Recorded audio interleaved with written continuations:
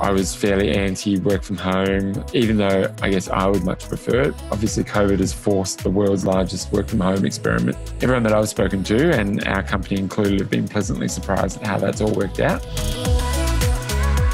Uptick is a software as a service provider for people that maintain large portfolios of buildings. Our customers are some of the biggest companies in Australia, like Commonwealth Bank and Scentre Group.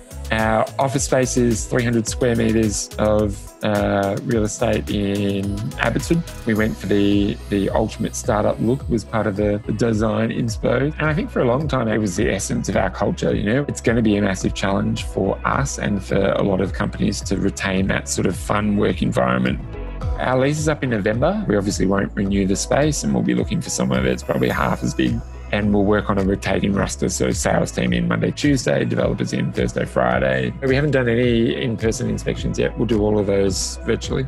Obviously, the biggest change will be square meterage, much smaller offices, which means you know less bathroom space, less kitchen space, less emphasis on how do we design this for people that are here eight hours a day, five days a week. It'll be a place to like meet and work out, not a place to live. And I think we'll see much more sort of video conferencing, like high end setup, so that you can sort of remote in effectively.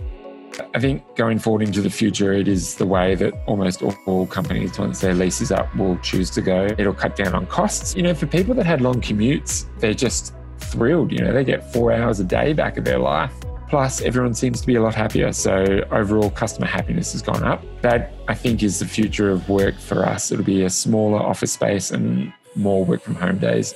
And this will mean employees need to develop a performance based culture, not an hours based culture.